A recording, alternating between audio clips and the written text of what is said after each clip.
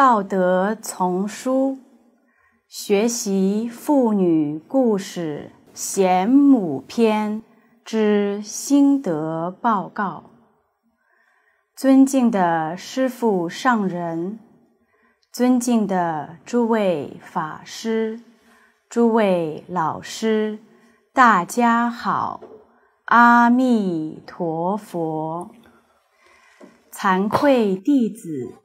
今日恭敬汇报的题目是《道德丛书·妇女故事贤母篇》之学习报告。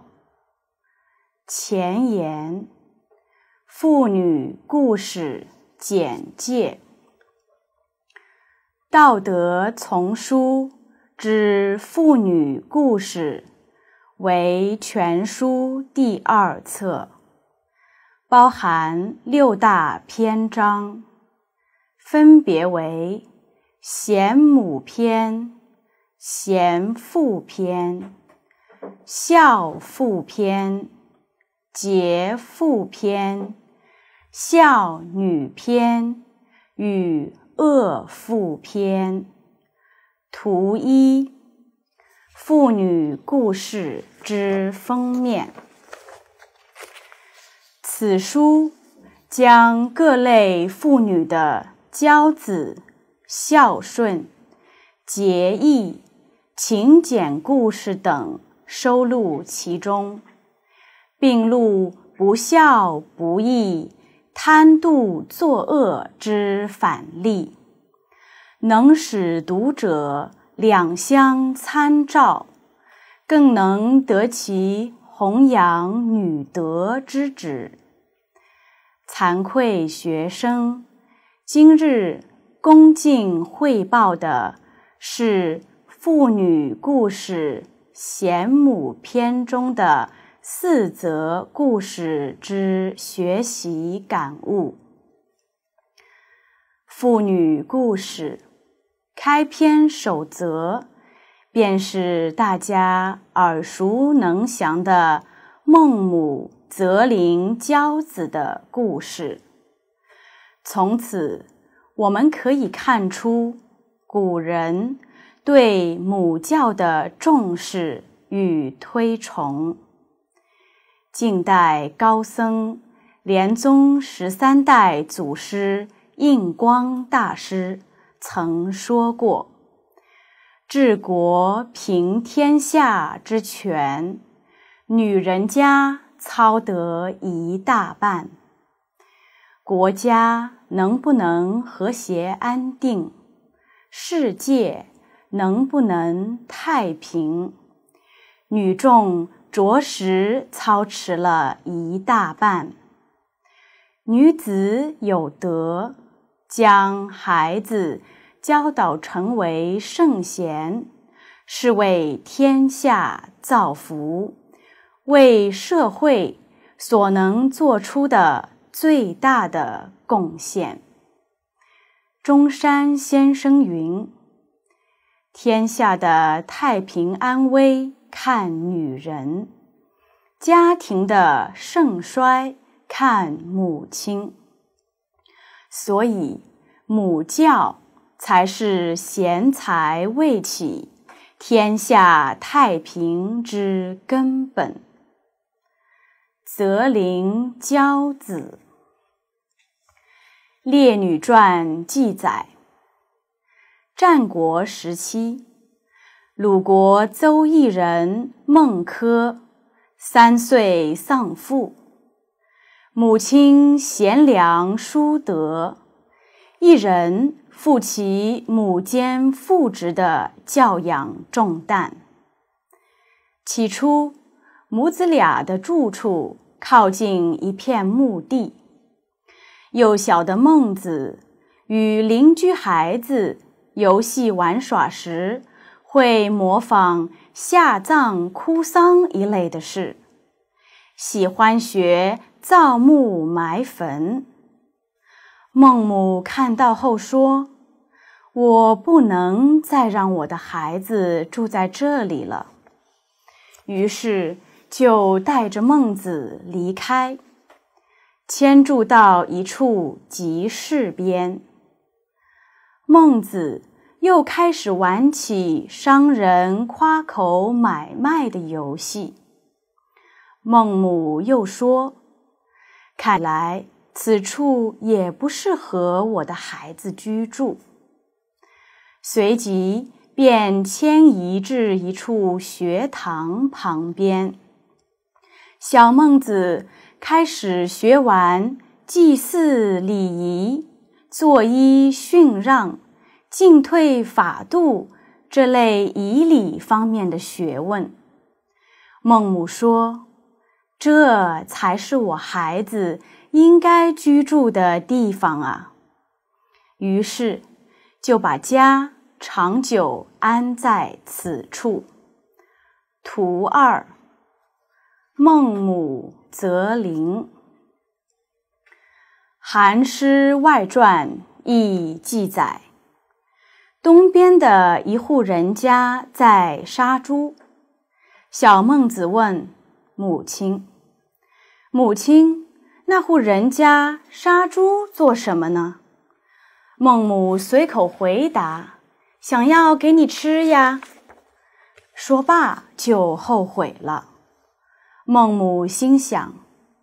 自从我怀这个孩子以来，席不正不坐，食物割不正我不食，为的是给孩子良好的胎教。现在他初识人事，就欺骗他，岂不是在教他不讲信用啊？于是孟母就去东边那户人家。买了猪肉给孟子吃，为的是绝不欺骗孩子。《三字经》中的“昔孟母，择邻处，子不学，断机杼”，为历代学童朗朗诵读。孟母长氏。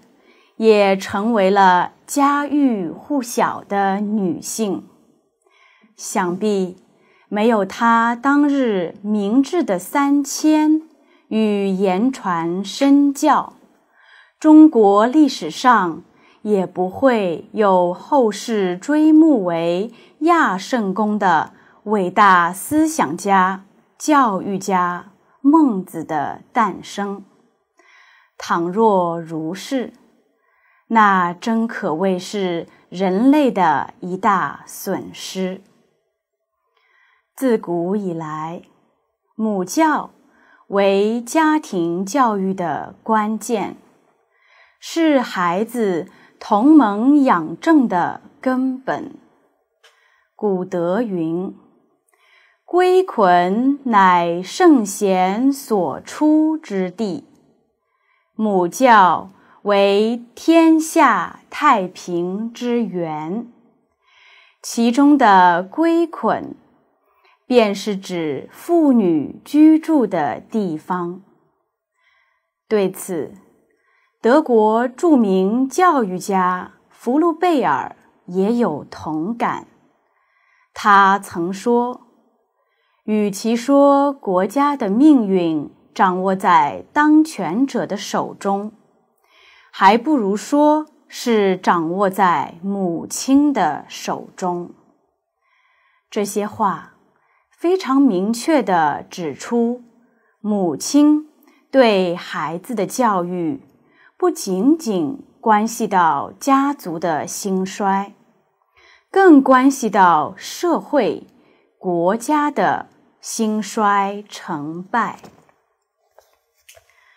母亲。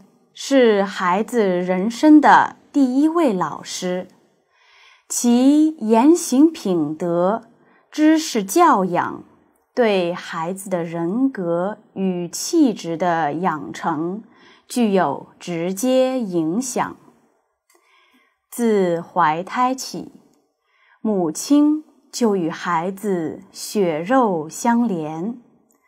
如果母亲思想，言行邪而不正，在污浊不正的气氛里孕育，孩子也会时时受到母亲身心邪气、浊气的影响，而导致孕育不良。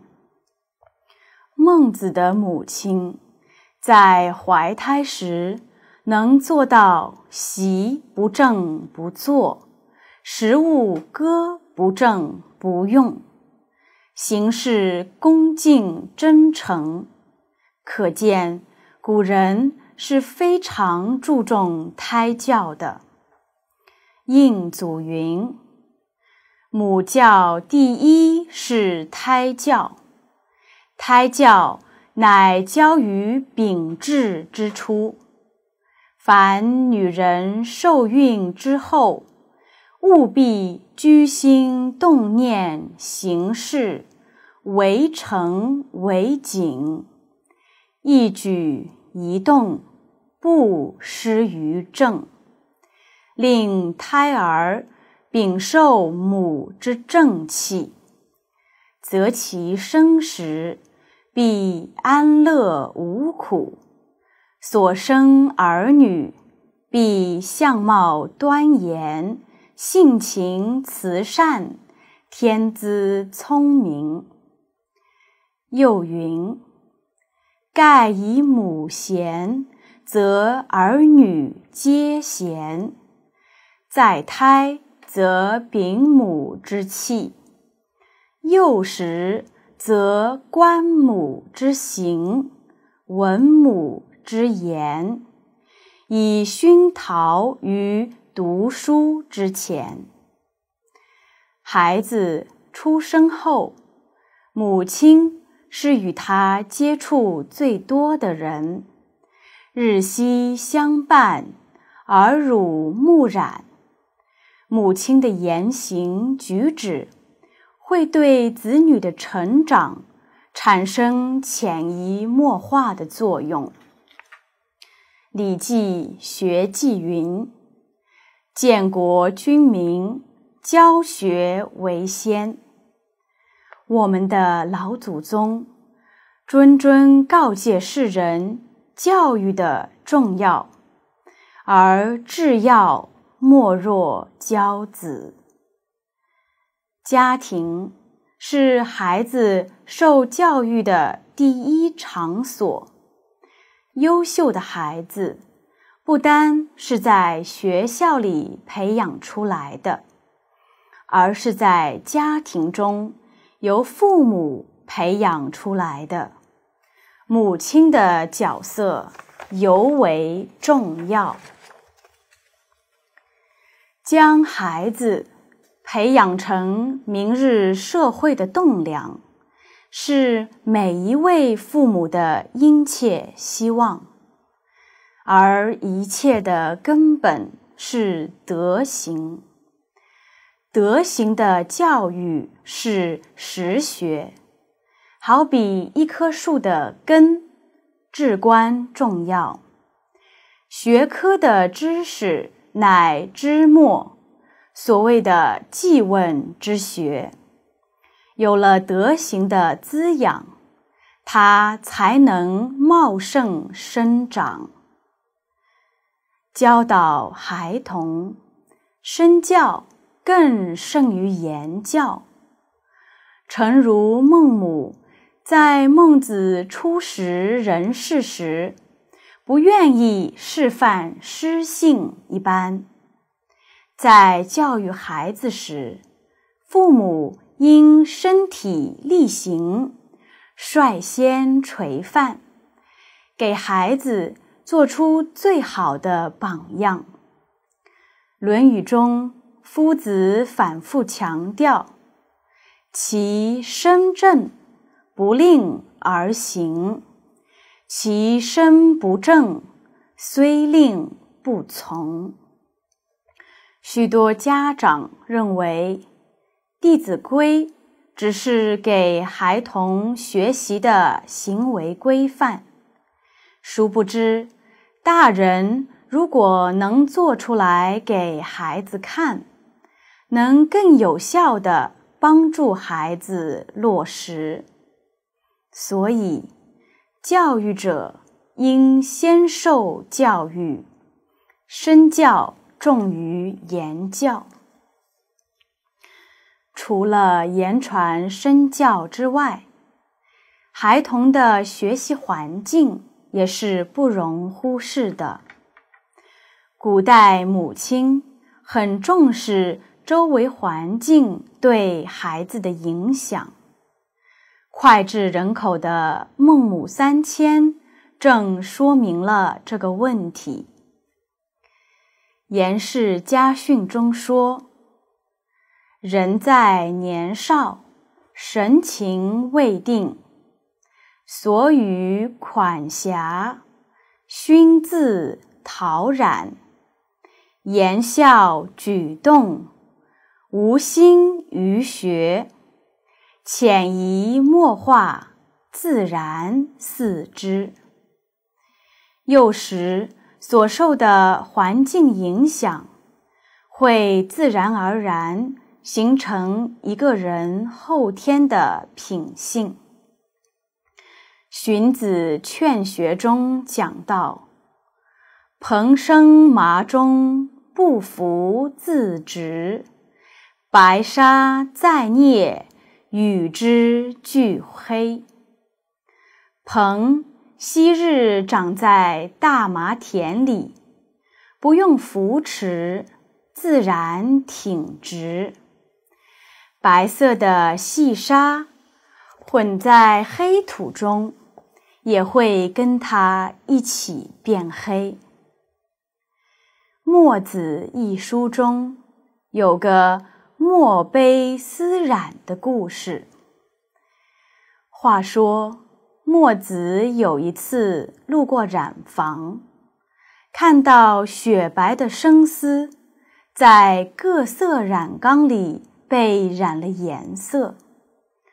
墨子聚精会神地看了半天，然后悲泣地说。这雪白的丝绢，丢进黑色的水，就染成了黑色；丢进黄色的水，就染成了黄色。陆续投进五种染料，丝绢也就变成五彩色。所以，染色的时候不可不谨慎啊！这个故事暗喻人的本性就像生丝一样洁白，但一旦受到污染，被染上了坏习气，再想恢复本性的质朴纯洁就很难了。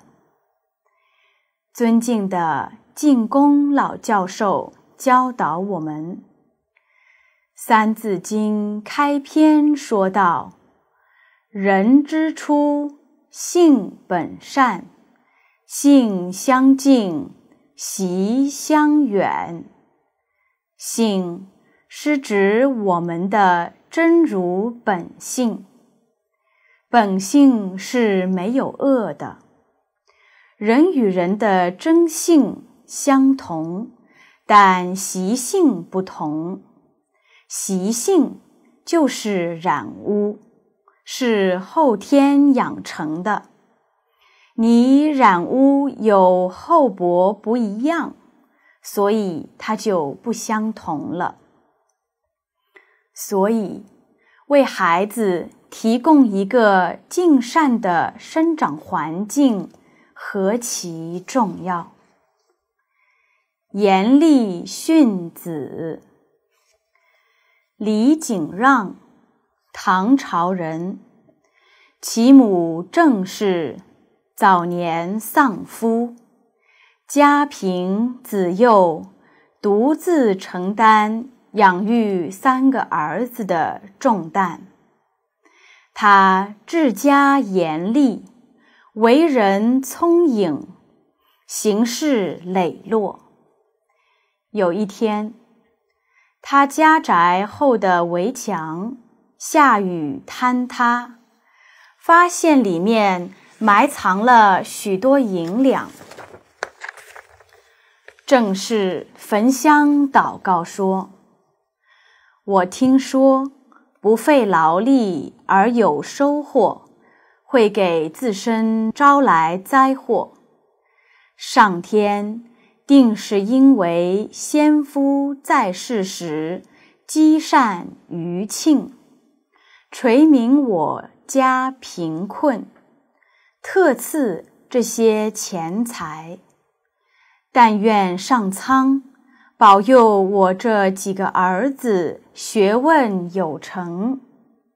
这些财物我不敢动用，要原封埋藏。于是随即将银两掩埋原处。皇天不负苦心人，后来果然如愿相偿。三个儿子景让、景温、景庄，由于贤母的教导，都进士及第。图三，李母正氏携三子焚香祷告。正是教子吉言。仅让兄弟三人，直到年老，犯有过错，仍会挨受鞭笞教训。事后改过，一家人又欢喜如初。李景让为浙西观察使时，曾经因为。一位副将犯了过错，一时震怒之下，不慎将他杖打致死。于是军心怀抱不平，图谋叛变。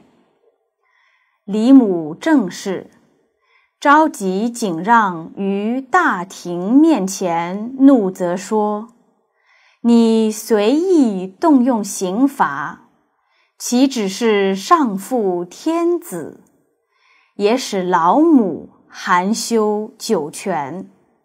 你让我以何脸面去见地下的祖先？说罢，举起戈鞭就要抽打景让的背脊。将士们看到这种情景，都感动涕泣。上前多次劝止，并代为谢罪，正是才答应原谅景让，一时军心就此安定。从以上记载可以看出，李母正是是一位深明大义。实践高远的严母，一位家境不富裕的寡母，在抚育三个孤儿之际，面对一笔意外之财，却毫不动心，实在难能可贵。他所希求的是孩子可以成就道德学问。他日能成圣成贤，而不是荣华富贵。此举对于塑造孩子真善美心灵、平而乐道的品性影响深远，同时也体现出正是极强的道义感与。社会责任感。日后，三子进士着第，位至方正，并以清白著称于世。古时的母亲，不仅在孩子年幼时悉心调教，而且在他们长大成人。步入仕途之后，依然给予他们有益的影响。李母机智地安抚了因愤怒行将发动变乱的将士，将儿子救出困境。李景让一生的成就，得力于贤明的母教。古人有训：“王化出自闺门，佳丽始于女贞。”即一个国家的教化出自于闺门，而家庭的敦睦和谐始于女子的贞德，是由母亲所教导的。所以，自古以来，有贤才，必须先有贤子；有贤子，必须先有贤母；有贤母，必须先有贤女。印光大师开示道：“教子。”为天下太平之根本，而教女为尤要。以人之幼时，专赖母教，父不能常在家内，母则常不离子。母若贤惠，则所行所言。皆足为法，见闻已熟，心中已有成规，在加以常常训诲，则习以成性。如熔金铸器，模型若好，器绝不会不好。已故。教女比教子尤为紧要也。今日的女孩就是未来的母亲，如果不对女孩好好教育，她未来就不会是一个德行兼备的好女人，自然也成不了。好母亲，而这从小处说，是一个家庭的不幸；往大了说，是社会国家的不幸。因为这样的女性，不可能教育出优秀的下一代。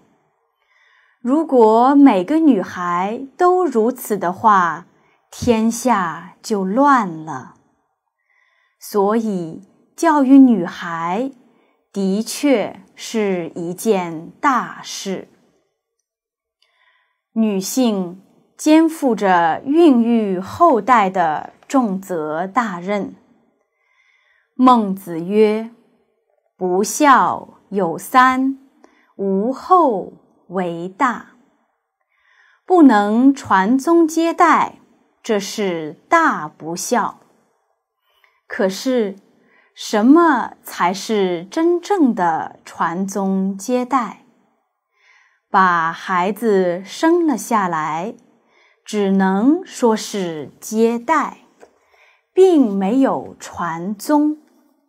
宗为何意？一个家族中的家道、家风。家学、家业，这是宗。有了能传承的人，这才是传宗。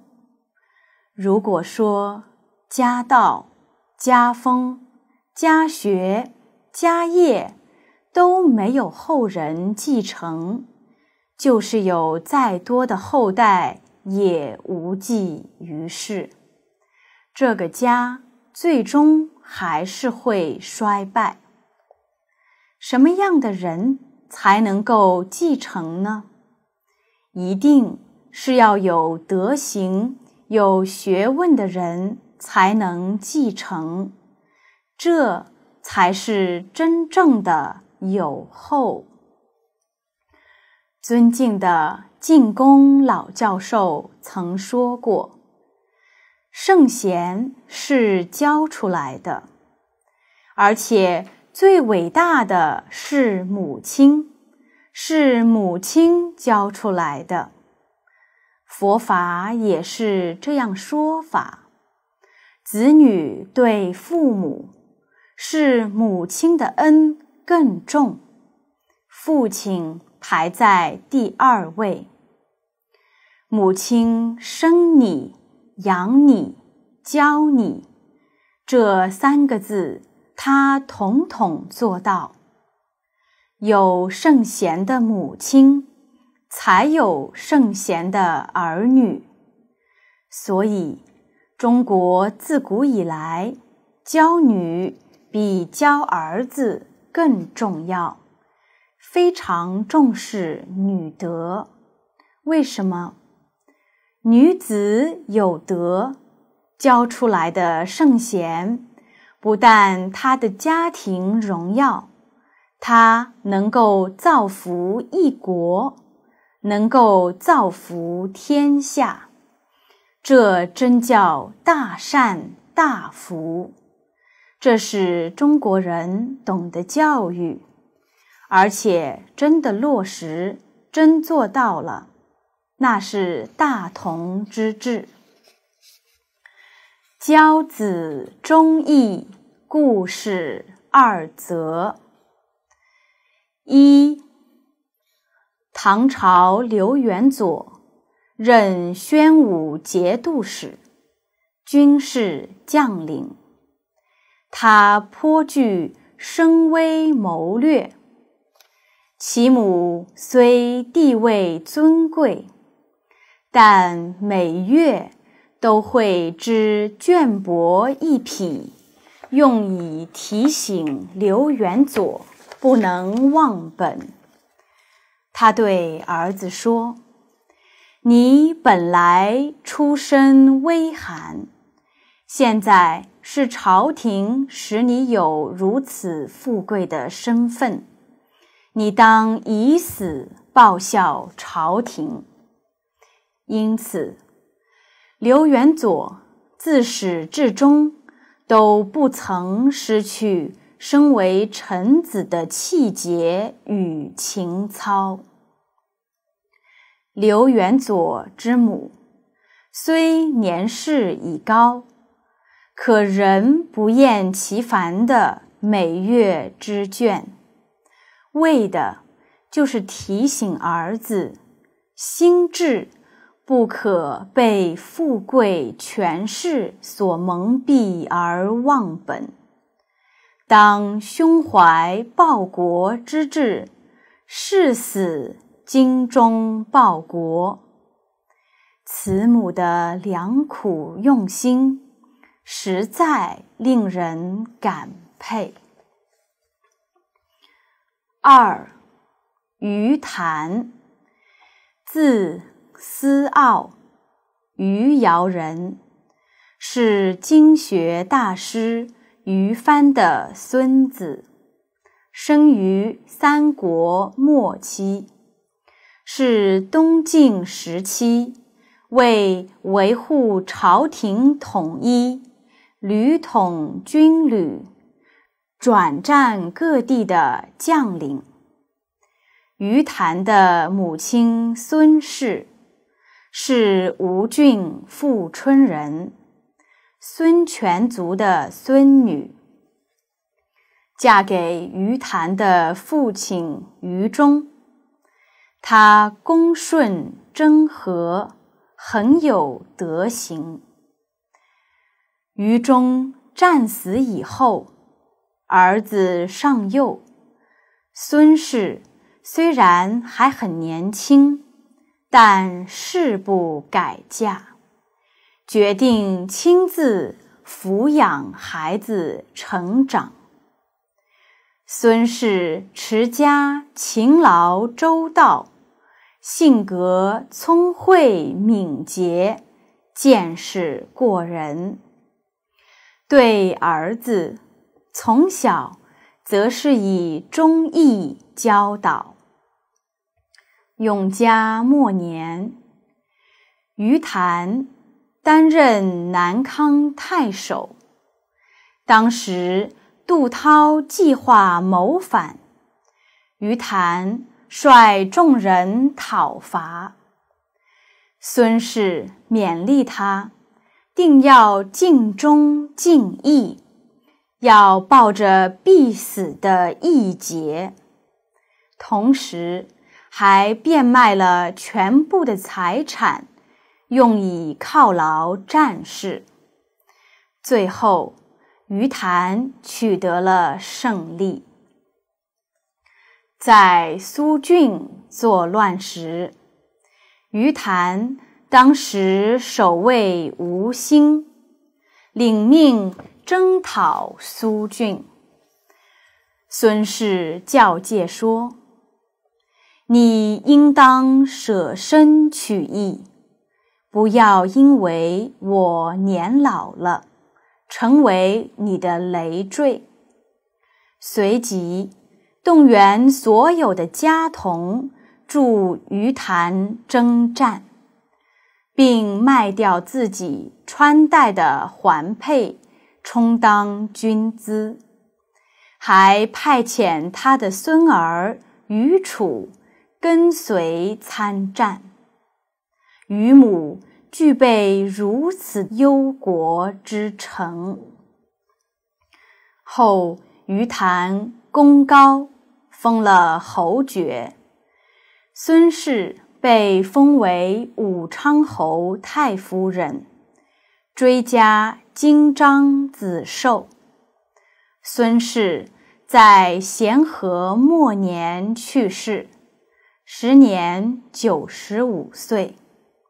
成帝派遣使节吊祭，是为定夫人。于母。巾帼不让须眉，对国家赤胆忠心。他的坚强与慈爱博大的胸怀，造就了一代名将，亦为国家带来了和平与安宁。可见，贤母的教育，实可为天下。造福。事实上，中国古时尤其尊重女子，主内的工作比主外的工作更受重视。从“太太”这个称呼中，我们可以对此窥豹一斑。太太。这个称呼来自周朝开国的三位妇女，因为她们的名字都有一个“太”字。周族太王古公胆父有贤妃太姜，即太伯、仲雍、季历三兄弟之母。太姜性情真静柔顺，极有智慧，教导诸子，至于成人，从来没有过失。古公谋事，必与太姜商量，随古公要迁徙到什么地方，他都不辞劳怨。顺从追随，既立继位，又娶有贤妃太任。十载，称其端庄成衣，德行无缺失。即有身孕，即自开始胎教。所谓。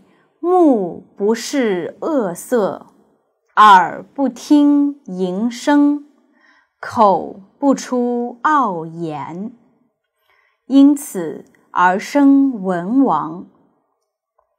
文王又有贤妃太姒，《史记·周本纪》记载。武王同母兄弟十人，母曰太姒，文王正妃也。《列女传》称其生十男，亲自教诲，自少及长，未尝见邪僻之事。太姜、太任。太姒这三位妇女，把孩子都教导成圣人。周氏能够维持王朝七八百年之久，都是由其上辈的德育教化而来，绝非偶然。因此，后世尊称妻子。为太太，便是从周氏有三位圣人之母而来，是希望每一位妇女能学习三太，以他们为榜样，尽心尽力的教育下一代成圣成贤，做圣贤人的母亲。这个意义多么的深广！令人惋惜的是，当今社会大众在没有深入经典的情况下，却以讹传讹的说中国古人轻视女性，比如一提起三从四德。就认为那是封建糟粕，是用来束缚女性的精神枷锁。可是，我们了解它的真实含义吗？三从出自《仪礼·丧服》，指女子未嫁从父，出嫁从夫。老来从子，或夫死从子。后世望文生义，将其中的“从”字解释为服从，于是误导了大众对这句话的理解。“从”字在古汉语中有追随的意思。三从的本来面目是：女子未出嫁前追随父母，由父母负责教养；出嫁后追随丈夫，由丈夫负责生活；老年追随子女，由子女。负责赡养。四德出自《周礼·天官·九平》，指妇德、妇言、妇容、妇功，是说判断一个妇女是否优秀，一要看她。是否具有良好的品德，这个最为重要。二是看他讲话是否有口德，并非注重口才。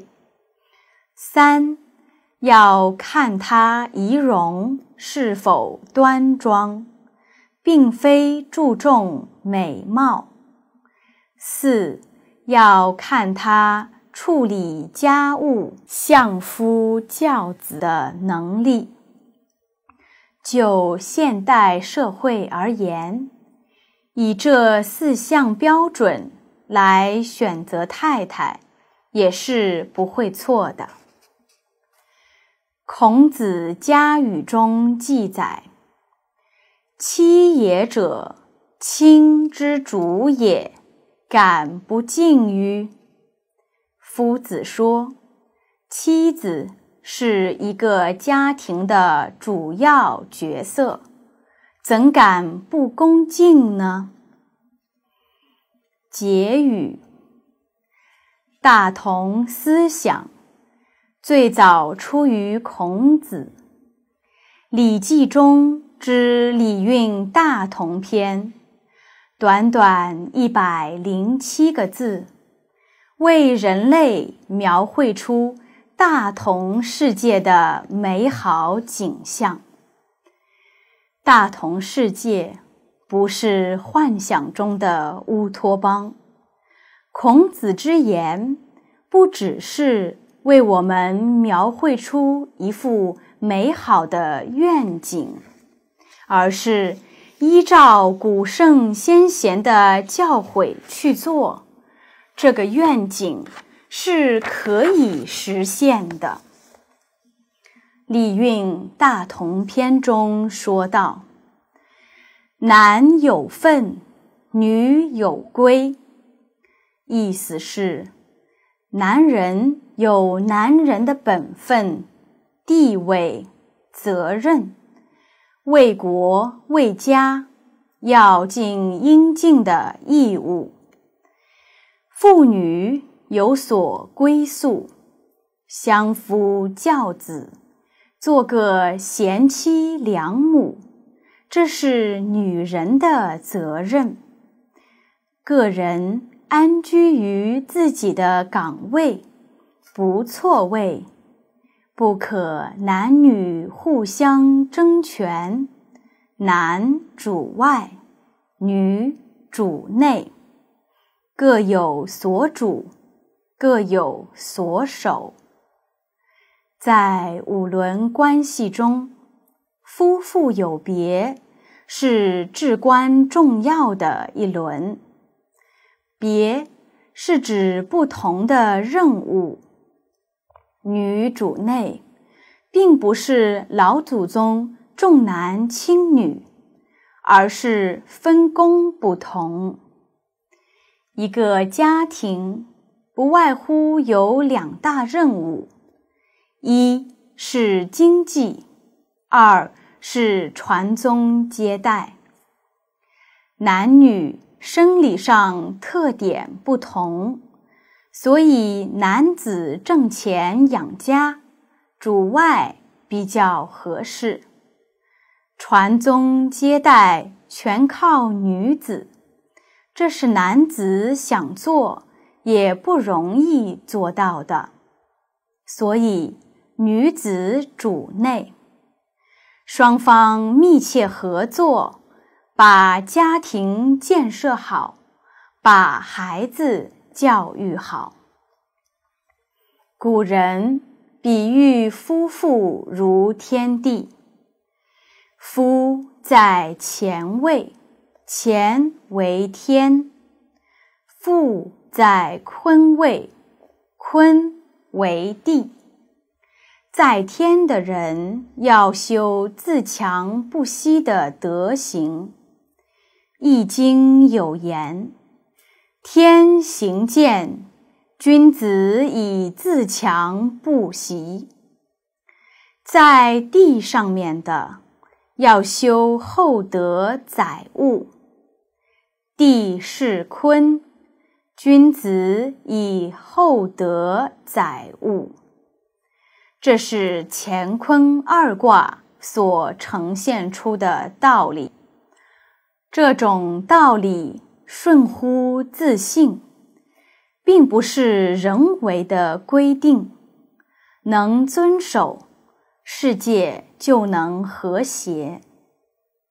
应祖教导云：“圣人所谓男正位乎外。”女正位乎内，正位乎内者，即实行烹饪、纺织、相夫教子等内事，今令女人改任男子之事，则女人正位之事荒废，家事无人管，子女亦无人教，其害无穷。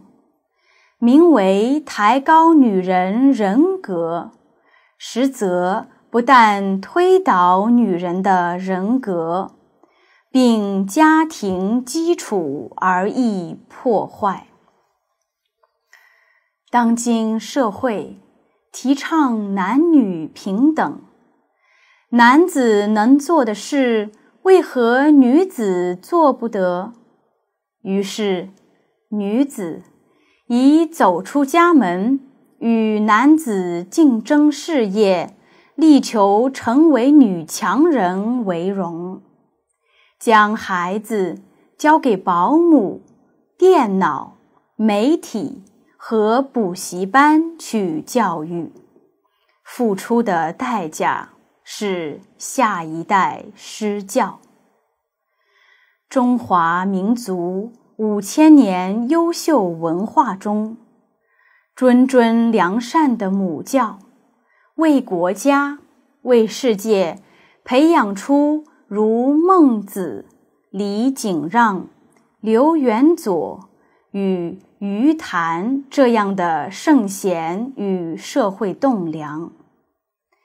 今日的孩童是明日世界的希望，因此每一个家庭都应把教育孩子。置于首位，而其中母亲的责任最为重大。最后，惭愧学生向诸位长辈敬呈一颗美丽的水结晶，这是华严实验室所做的一项水实验。水看。母亲教孩子读书图片后所形成的结晶体。图四：水看母亲教孩子读书图片所产生之水结晶。那美丽亮洁、晶莹剔透的结晶体。仿佛在为我们诉说母性的光辉与母子之间的亲爱。以上是惭愧弟子恭敬学习《道德丛书·妇女故事贤母篇》之粗浅心得报告。定有错误之处，至诚祈请尊敬的师父上人与诸位大德老师会予批评辅正，无尽感恩。阿弥陀佛，惭愧弟子如意顶礼。叩成，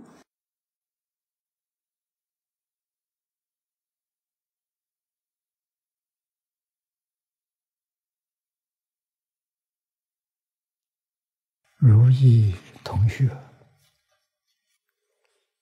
这一篇读书报告写得很好。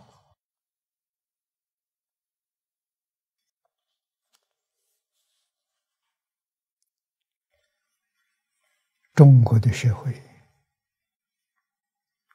在一百年前，大家对这桩事情还非常重视。满清亡国之后，中国这块大地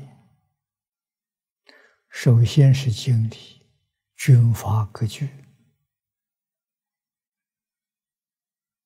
啊，接住中日战争，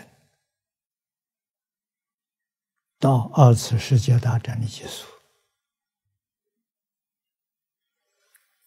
战争当中，是我们这一代的人亲身经历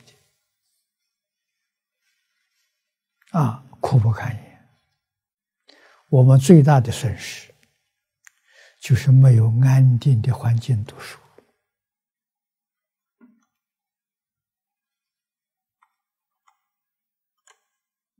啊，时局紧张时候，要知道。这个战争是八年战争，不是短期。啊，我们读书的机会就没有政府想出一个补救的方法，那就是国家办学，完全公费。啊，照顾这些流亡学生，啊，天天在逃难。啊，我在日本投降的前两年、前一年多、一年半，啊，曾经在国家办的这个学学校念过一年书。啊，那是在那个年代。我们过到最幸福的生活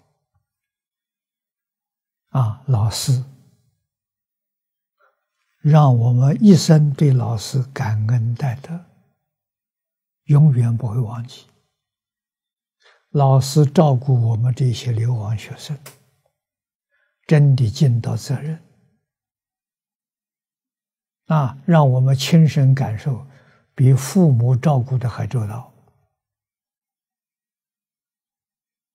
啊，老师确实做到了身心研究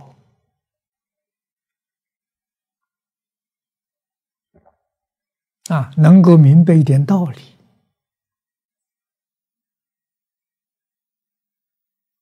没有把路走差了。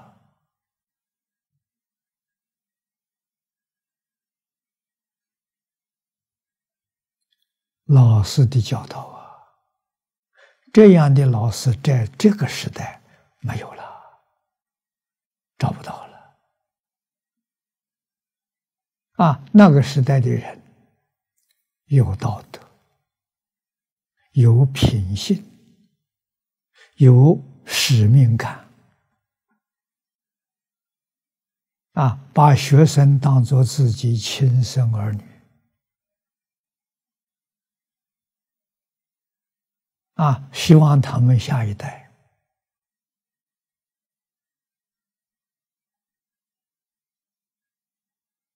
能带给国家社会安定和谐。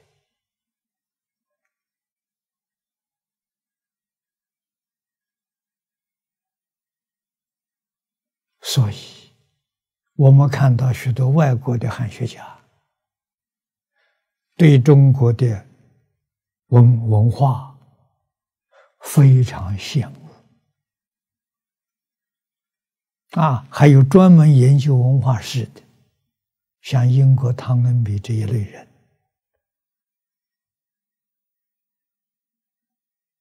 啊，他们认为要解决二十一世纪的问题，就是当前的社会问题，混乱到基础了。在这个地球上史无前例，怎么会变成这个样子？啊！现在读了第一篇报告，我们明白了：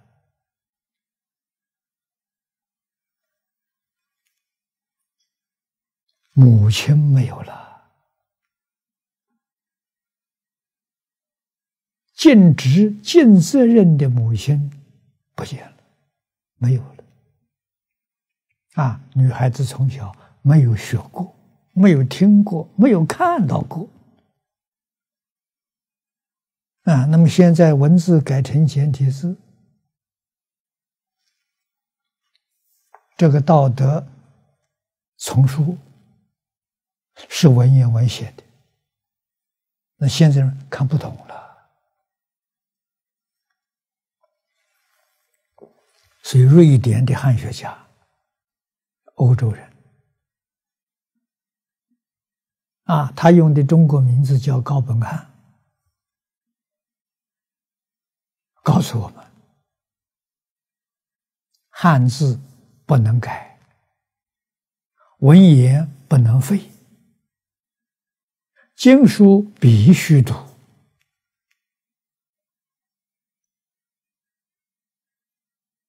啊！要注意，他提的是经书。中国的典籍分为四大类，叫四部：经、史、子、集。啊，这四大类里面特别指出经书必须读。为什么？经是圣人的作品。什么叫圣人？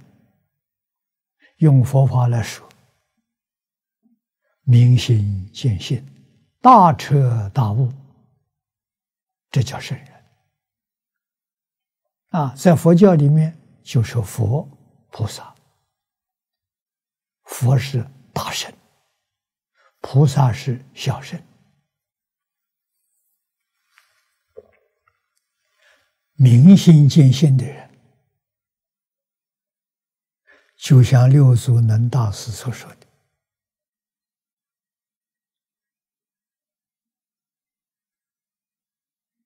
自信。”本来具足啊，具足什么？具足无量智慧、无量德能、无量相好。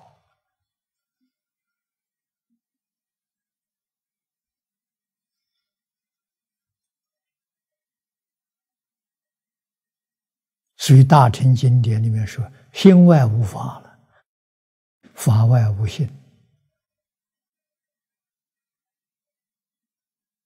啊，中国圣贤教育跟佛陀的教育是同一个方向，同一个道路，同一个目标，都是啊圣贤教育，佛菩萨的教育，佛是圣，菩萨是贤。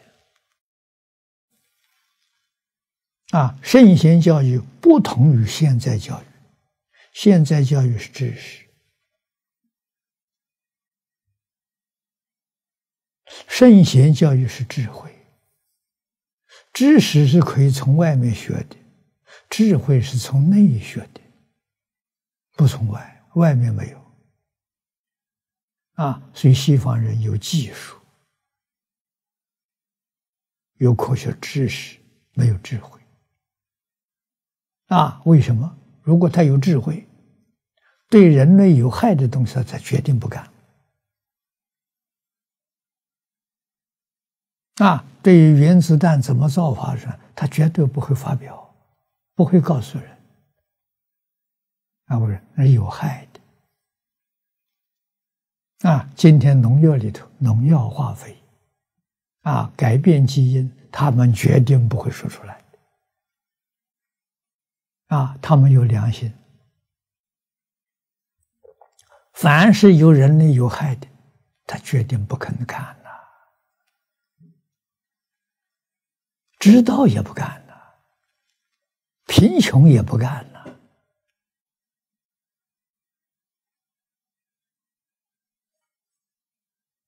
啊！所以这些人留下来的典籍，称之为经。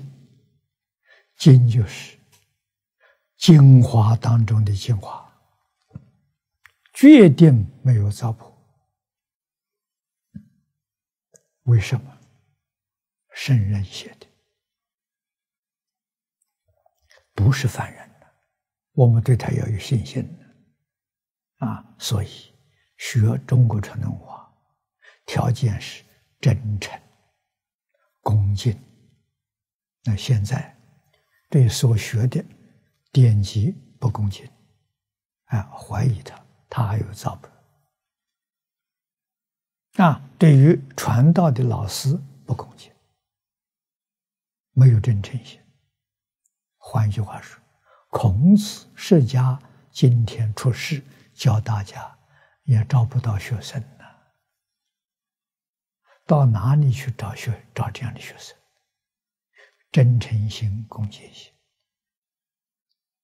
啊，年岁稍稍大一点，上了十几岁，懂事了，有使命感，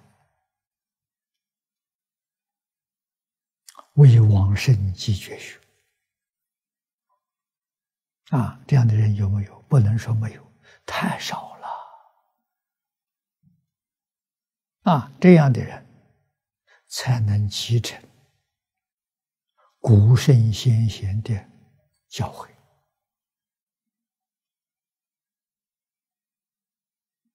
啊，他才能欢喜接受，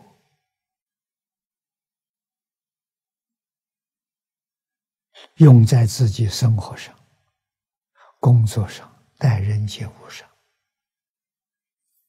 法喜充满，不亦乐乎？这是人生最高的享受。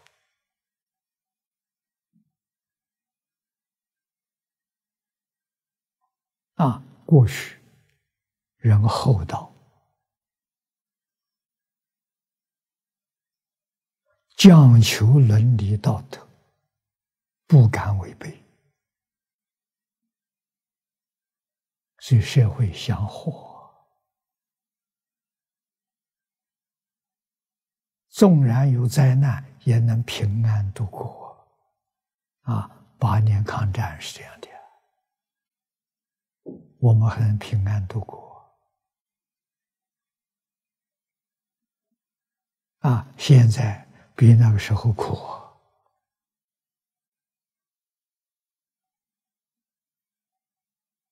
啊！虽然物质是这个这个科技发达，啊，收入多了，啊，可是过的生活的品质比不上从前。啊，抗战期间那个艰苦日子，那个里头有人情味，有乐味。有趣乐趣啊！人有德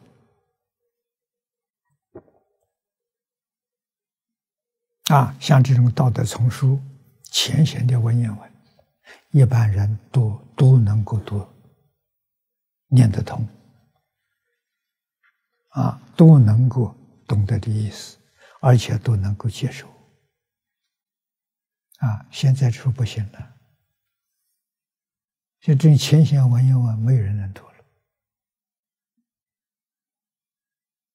啊！而且的时候，接受社会这个感染，对古圣先贤怀疑啊！他读这些书，不但不能够像我们同学这样感受，他批评。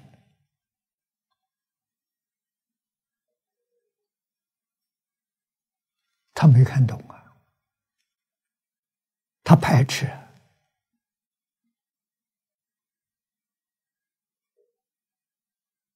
啊，这就是让我们为什么在这个社会生活没有安全感，不如在八年抗战，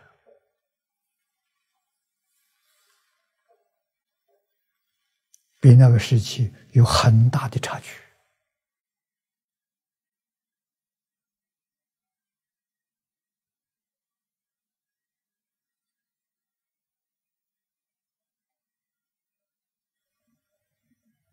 啊，所以我们同学这部书是好书，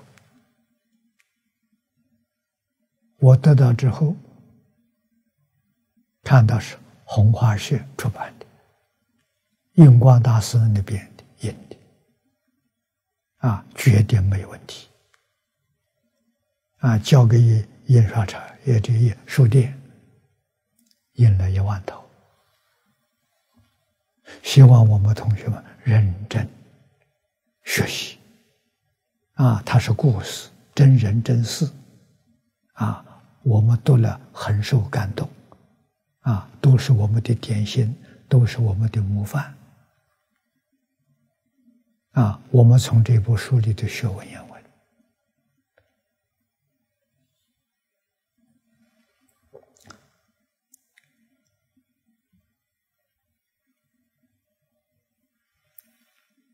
这一篇文章，希望要放在我们的频道上。啊，希望有很多的年轻人喜欢读这部书，啊，这也作为介绍道德丛书，啊，让大家对他有认识，功德无量啊！我们看第二篇。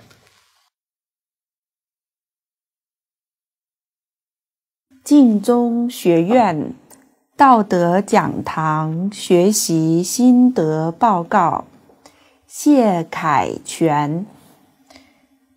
首先要感恩我们中华民族的老祖宗所流传给我们的传统文化，以及感恩道德讲堂。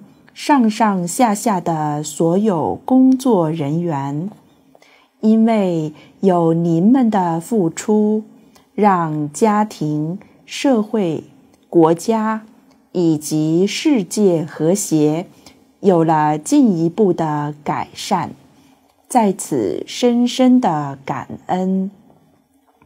在还没有学习传统文化之前。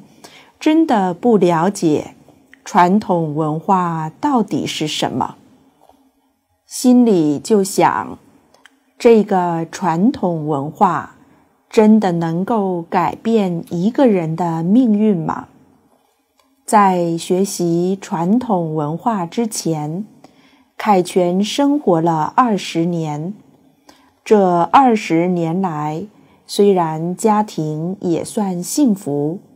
经济上也算个小康家庭，可是凯旋却从懂事以来都不愿好好学习，跟一些不好的朋友混在一起，败坏社会风气，违法乱纪，天天日夜颠倒，出入声色场所。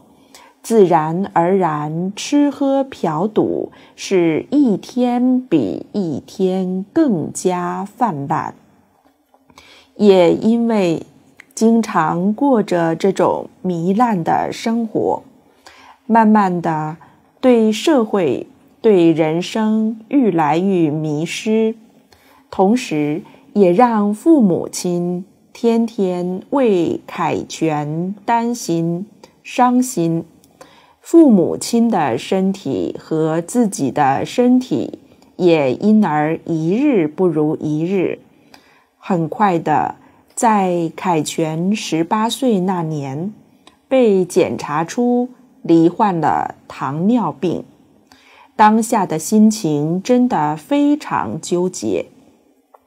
一直以来都认为疾病应该是等老了才会来敲门的。万万没想到，却让凯旋这个年纪轻轻的少年给碰个正着，而且因为非常的爱玩儿，随着心中欲望的膨胀，让凯旋天天都非常的痛苦，每天眼睛一张开，所有的事情都和钱挂钩，慢慢的。对人生感到绝望和失落，讨厌自己，也讨厌这个人生，不了解人活着到底是为了什么而活，一天混过一天，没有目标的生活着，真的是太没有意义了。凯旋真不想一辈子都追着钱跑，因为就算得到了钱。心中还是会非常的空虚与无助，所以说活了二十年，因为没有学习传统文化，不懂得这些道理，只能用一个字来形容这二十年来的生活，那就是苦呀。从小，凯旋就是一个非常自卑、非常没有自信的小孩，没有任何的同学愿意和凯旋玩。到了初中，因为种种原因，非常的看不起自己，讨厌自己，慢慢的就开始自暴自弃。也因为有了这样的想法与观念，时间一久。内心变得非常的扭曲，对所有的人事物都看不顺眼，并对人生的价值产生了错误的看法，觉得有钱就是老大，有钱才会被看得起，所以初中就迷上了赌博，利用赌博去获取金钱与满足自己的欲望。有了这种扭曲的人生观，随着年龄的增长，也就愈来愈迷失，愈赌愈大，有时甚至赌到连吃饭钱都输光了，逼不得已还得低着头跟人家借个吃饭钱，到最后也因为赌博，把凯旋害得人不像人，鬼不像鬼，外面欠了一笔又一笔的债务。同时，因为在这样吃喝嫖赌的朋友圈中，慢慢也就接触上了毒品，并且利用非法手段来取得钱财。朋友们在一起所干的事情，也几乎都是伤天害理、违背良心的事情。就因为这样，每天都过着心惊胆跳的日子。不知道什么时候会被警察抓，甚至被仇家碰上。赌博及毒品的生活虽然让自己得到一时的快感，但是时间非常的短暂。等醒过来时，那种对人生的绝望真的是无法形容的痛苦。每天生活在这种环境中，表面上看似很快活。其实私底下，朋友们都为了钱而吵得天翻地覆，累得不得了。这真的都是被自己的欲望所操控着。以前和这些不好的朋友们所生活的日子里，真的就像是人间地狱般的生活，吃喝嫖赌，看似真享受，其实他们就是痛苦的根源。贪心所感召而来的，一定只有苦而已。所以，真的不能走错路。走错路的代价，真的是又苦又累。在痛苦难堪之下，放下所有的人事物，凯旋决定去参加中华传统文化道德讲堂，看看是否真的七天可以改变一个人。是否真的能够离苦得乐？在学习当中，凯旋了解到，所谓五福就是长寿、富贵、康宁、好德及善终，这些一直以来就是大家都在追寻的目标。但是，有的人虽然争名夺利，忙碌了一辈子，却到死也没有真正得到。可是我们的老祖宗却能够让我们轻轻松松就能拥有五福，何乐而不为呢？有时凯旋会想，人生一辈子所追寻的事物，运用老祖宗的智慧，就马上能够拥有。只要真正做到老实、听话、真干。而我们现在却因为自身的烦恼习气而什么都得不到。老祖宗所教我们的，就是要先放下自身不好的习气，心量要扩大，把所有人事物都放入心中，感恩所有一切，不怨天尤人，逆来顺受，量大福自然就大，有福慢慢自然就五福临门了。学习传统文化之后，有太多的感触，真的是受益匪浅。就拿钱来说，以前总是把钱放在第一顺位，却不了解一个人有没有财富都是命里注定的。一味的追求却不懂得道理，只会让自己变成金钱的奴隶。相反的。我们应该从培福做起，才能够少走很多的冤枉路。所以，凯旋认为，人活着就是应该要有一颗无私的爱心，去帮助社会上需要帮助的人事物，从中才能够真正得到人生的价值与人生的意义。凯旋认为，现今社会之所以这么没有人情味，很难提起孝心与感恩心，是因为长期受西方教育的影响，教导人们处处都要争，争更高、更快、更强，结果让人们真正的本性给习性障碍住了，就像油灯泡一样。还有一个原因，就是我们中华民族的子孙对中华传统文化完全丧失了信心。正因为中华子孙的不孝，所以现今的人们大部分都活在水深火热之中，很少有人说自己是幸福的，而明明幸福就在眼前。我们却不相信，不肯干。我们现在之所以这么苦，就是因为不孝所带来的果报。因此，今天我们遇到了传统文化，就应该要好好的学习与落实。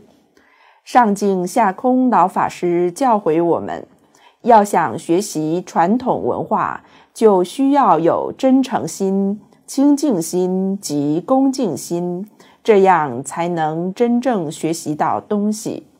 印光大师也教诲我们：一分诚敬得一分利益，十分诚敬得十分利益。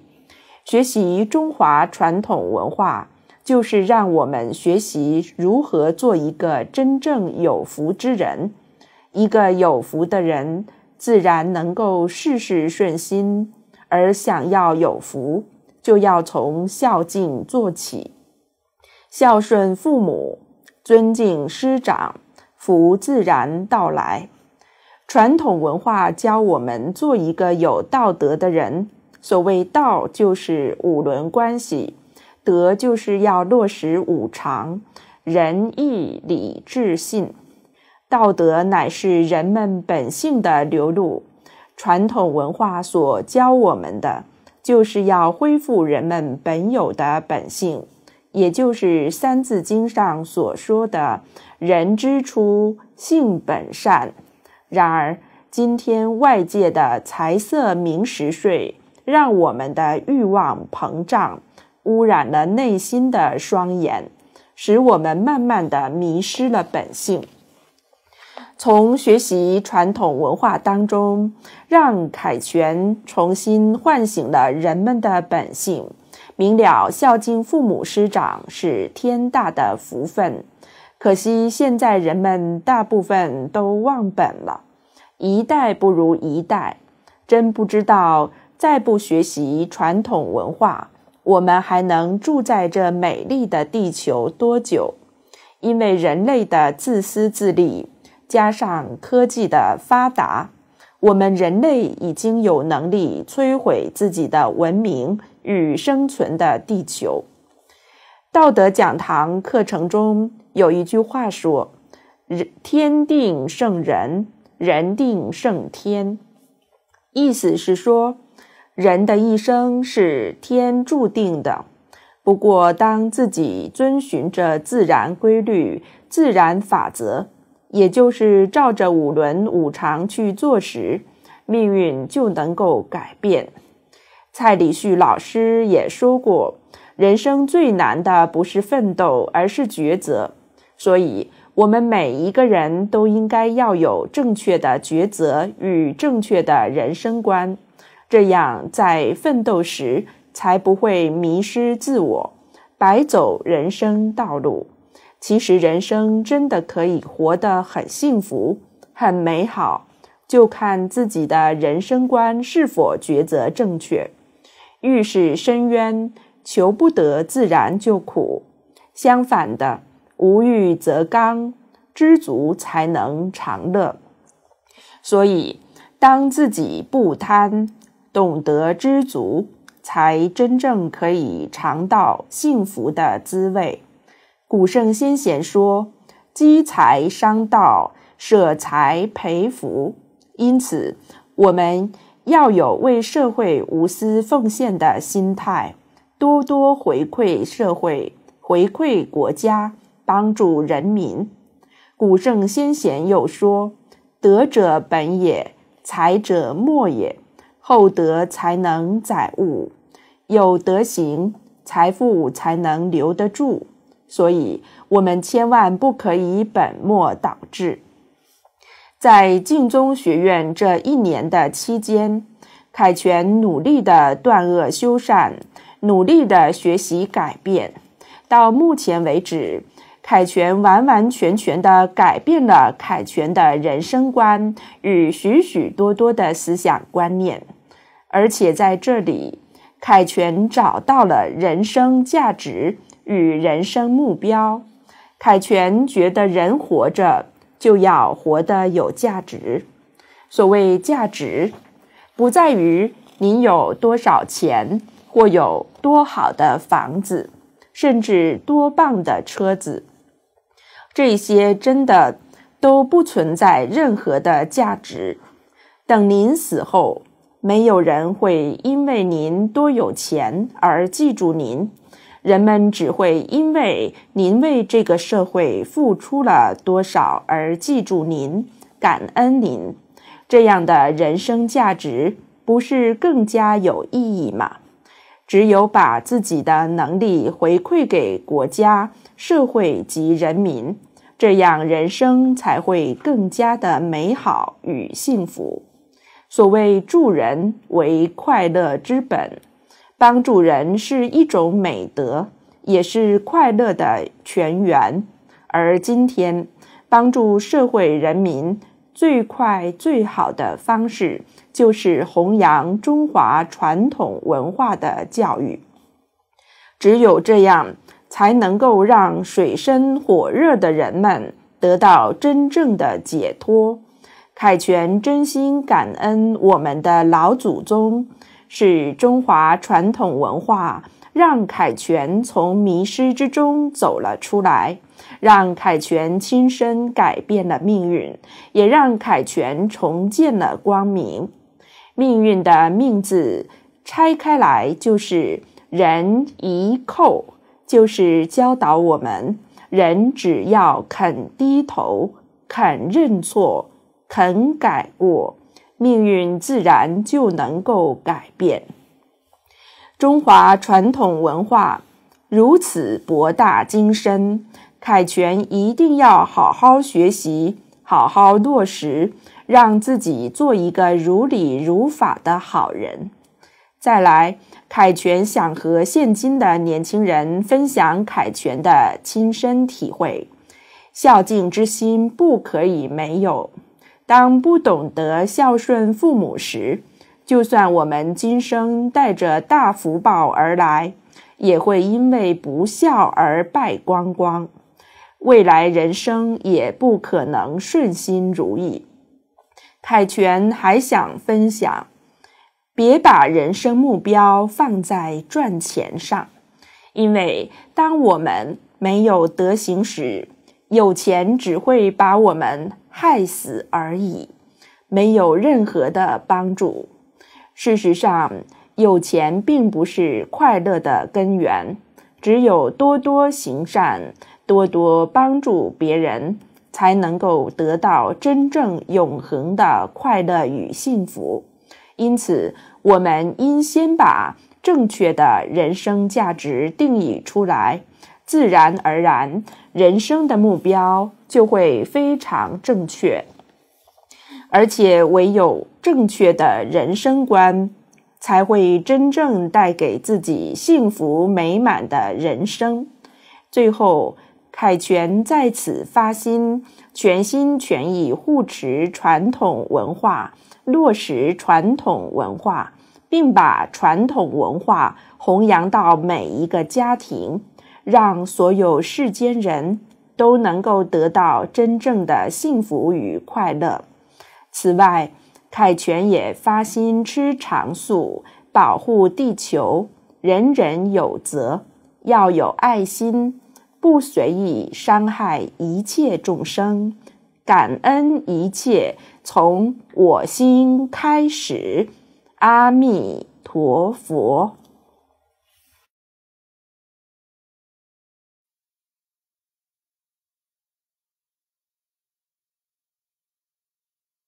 全同学接受图文巴净宗学院。所办的道德讲堂，学习一个星期，成绩很可观啊。那么你的一生能不能过着幸福美满的生活？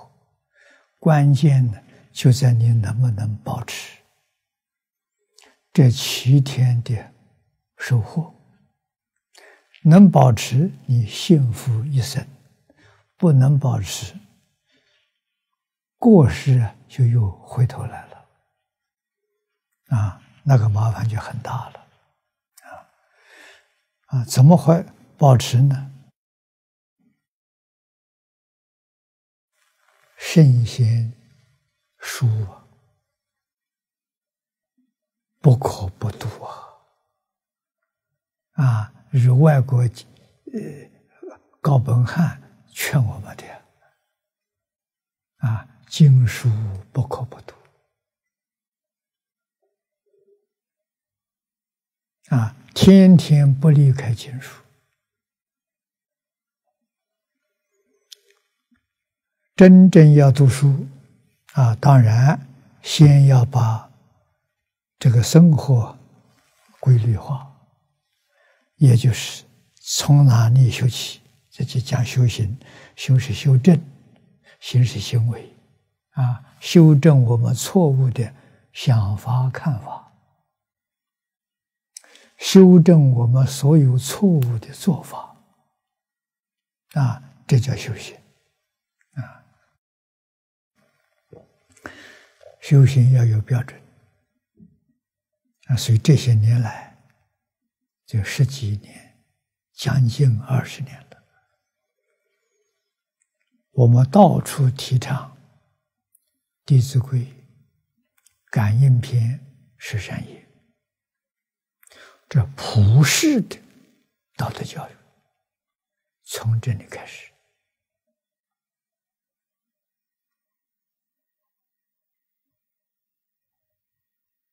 啊，从这里扎根。然后真正要深入，要真正想过一个幸福美满的人生。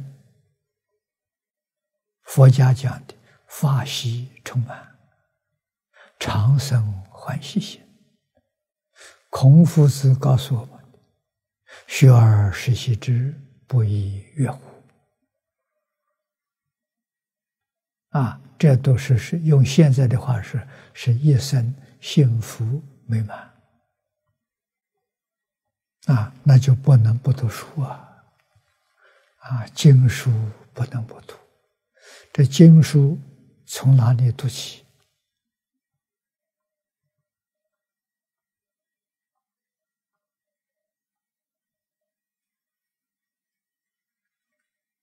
弟子规》《感应篇》。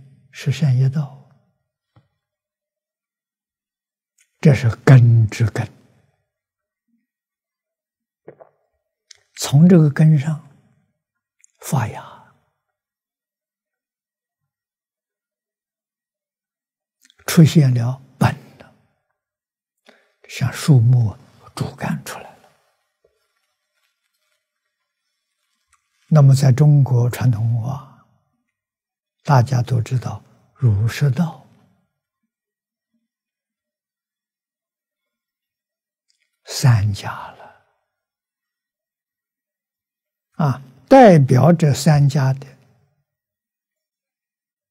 根本。现在讲概要、概论、儒学概要、佛学概论，我们要把它找到。那为什么呢？这必须要读啊，必修课。从这里扎根，这个根扎下去之后。你喜欢哪一个学科？喜欢哪一个法门？你自己去选择，一门深入，尝试学修。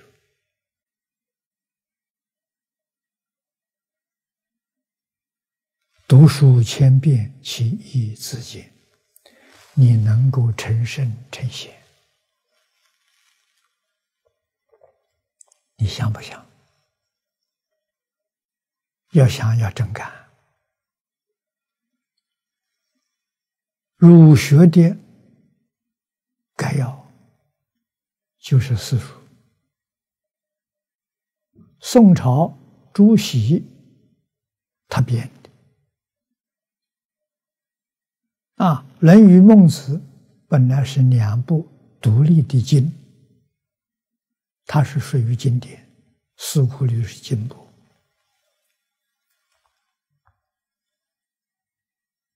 啊，《大学》中有，是《礼记》里面的两篇，《礼记》也是经。啊，那换句话说，四书是经啊，经书啊，不可不读啊。你把这个书读通了，儒家的概要你掌握到了，啊，道家的根就是。老子五千言，分量不大，五千多个字，那是道家的概要。佛门也有啊，《佛学概论》，这是方东梅先生，他老人家教我的时候是这么称呼，是什么经呢？大方广佛华严经啊，他告诉我，这部书是佛学概要。佛家所有的宗派、所有的法门，都以这个为根本，都从这个里头生出来的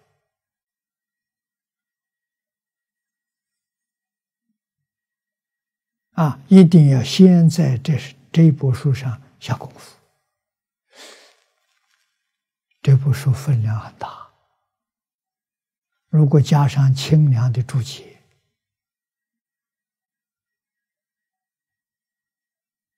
那就非常可观了。啊，我们没有那么多的时间，有相当的深度。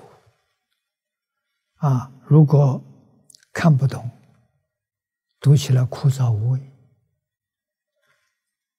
很难继续读下去，分量太大了。他有小本，啊，有古人讲，《华严经》是大本，还有中本。中本是什么呢？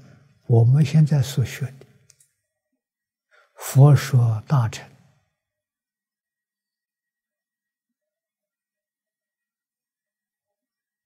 无量寿庄严清净平等觉经啊，这是近代夏莲居老居士汇集无量寿经五种的一本，成为一本。古大德称它做中本华严，也就是说，它可以代表佛法。佛法所有宗派无量法门的教义，都不出它，不出这本书。所以这书好，分量不多，可以读诵，代表整个佛法。啊，这儒释道三个，三个概要或者三个概论，啊，儒家四书，佛法的无量寿经，道教的老子，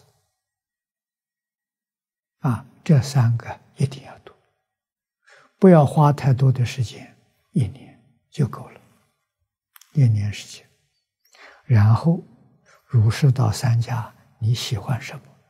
你自己去选择，选择一样，下定决心，十年，十年之后，你就是汉学家。啊，汉学包括儒释道，啊，学了概要，对儒释道的内容，心里有个底了。啊，在儒释道里的选择，自己也要。有这个能力了，啊，然后遵守一门深入，尝试熏修，读书千遍，其义自见。啊，目标帮助我们得定，帮助我们开智慧。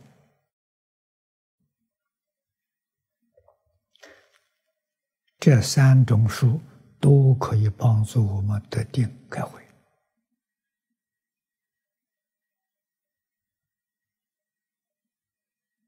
好啊，应当学习啊！然后真的佛家讲发菩提心，求无上道啊！菩提是什么？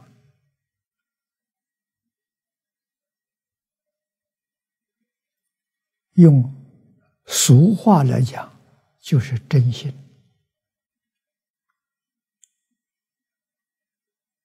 就是本性。《三字经》上讲的本性啊，人之初，性本善，本性纯净纯善，邪恶是妄心。不是真心啊！五五能、五常、四维、八德，是从真心里生出来的啊！贪嗔痴慢这些，是从妄心、恶心里头生出来的。那个东西是烦恼，它的根是烦恼啊！那是有毒的。本性是纯善的，没有任何毒素啊，真心的啊，那本性是什么？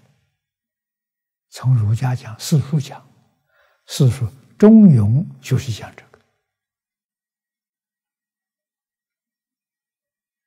个啊，把它先用一个字来代表呢，就是诚，真诚的诚。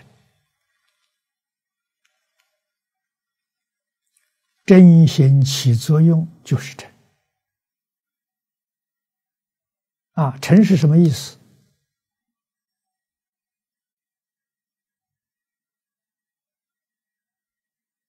大学里头很简单的一个解释：不自欺呀，不自欺就是诚，不要自己骗自己。人一定是自己欺自己，然后再骗别人，那就坏了。啊，所谓圣人，一生用真心，用真心生活，快乐。人生最高的享受啊，不是别的，啊，生活用真心。工作用真心，待人接物都用真心，这个人就是佛，就是菩萨。那如果在儒家讲呢，这个人就是神仙。啊，在道家讲呢，这个人是神仙。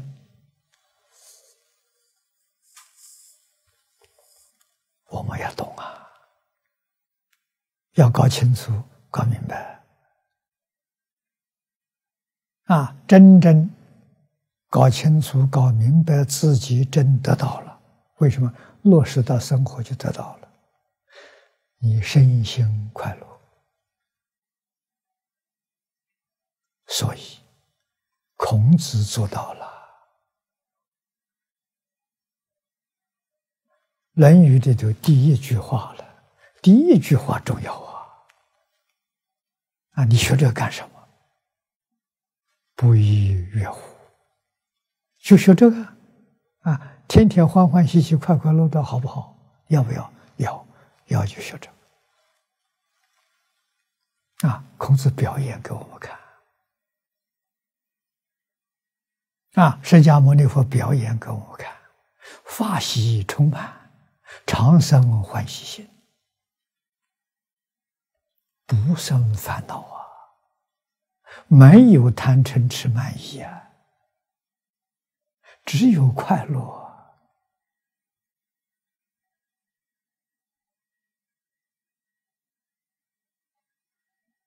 用真心跟用用妄心不一样。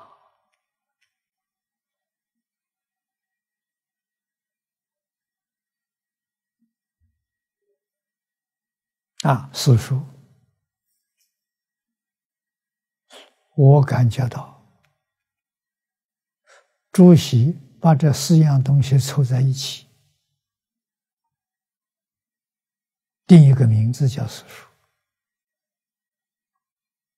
儒学概论，他怎么想到的？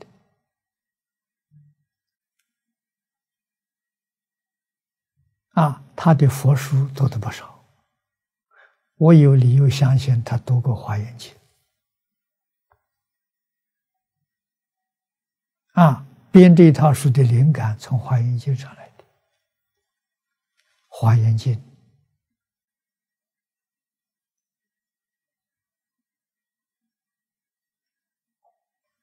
有究竟圆满的理论。真实的理论，有善巧方便的方法，后面还带表演，善财五十三参，做出来给我们看。这个社会上，男女老幼各行各业，通通都可以做到，都能落实，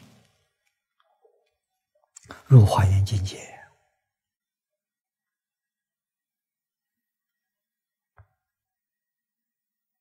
啊，大概这个朱夫子看懂了，儒家里头找到讲方法的大学，讲道理的中庸，啊，表演的《论语》是孔子表演的，啊，他的修学心得报告，孟夫子贤人表演。啊，比孔子稍微低一个阶层，他做到的，啊，他的心得报告，你看他们怎么做到的？怎么样得到法喜充满？啊，佛菩萨怎么样得到欢喜心？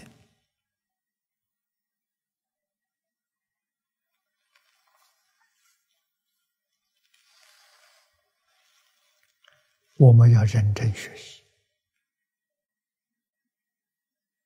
啊！这一生做什么样的事情好呢？在目前看，这个社会上迫切需要的就是道德讲堂。你能把这三个根抓下去啊？这也是根之根呐。儒的根是书。道的根，老子；佛的根无量寿经，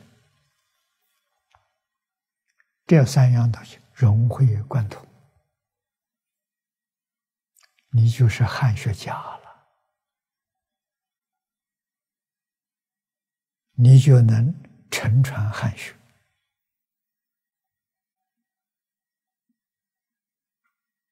像张夫子所说的：“为往生继绝学，为万世开太平。”这人生活的都有价值，都有意义，没有白来这一趟。啊，将来呢，学无量寿经，信愿持名，决定生极乐世界，功德圆满了。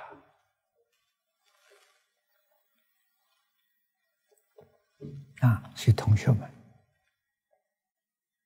一定要把传统文化认清楚、搞明白，然后自由在里头选择一门，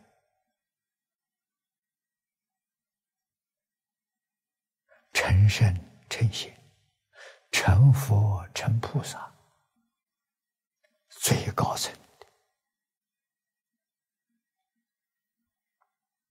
啊，一生可以做到，没有老师也能做到。相信无师自通，不少人呢，在中国历史上无师自通的很多。为什么？他们有信心。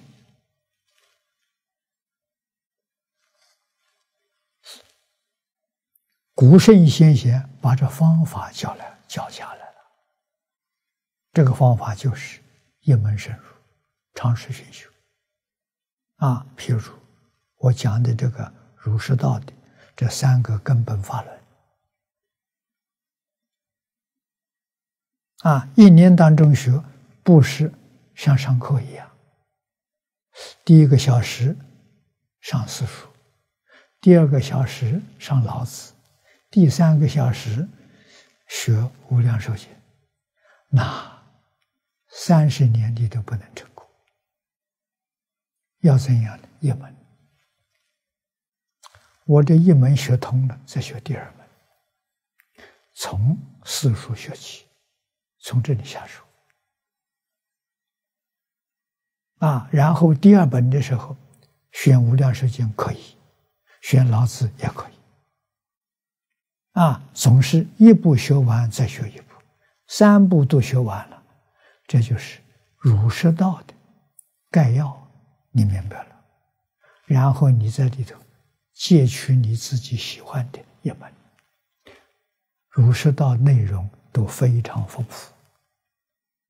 啊，你选一样，十年，啊，那就一样要学十年，十年。不要念第二种书，为什么？修定呐，用读书的方法修定，不求解义，这什么意思？不求，不看注解，就是读经文，读上十年，其义自见。啊，读书千遍，其义自见，你就读上十年，读上十年。大彻大悟，明心见性，全通了。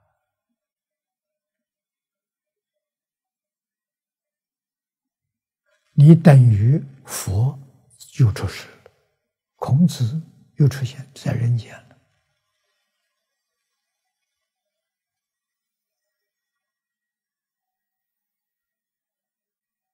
啊，这个时代需要这样的人。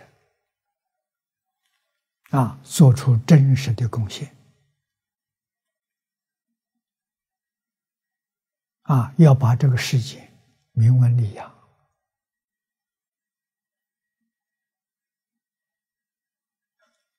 荣华富贵、七情五欲，统统放下，一心专注，成就道德学问。来帮助苦难众生。啊，这个工作是救世的工作，不是救一个人，是救整个国家民族，是救整个地球人类。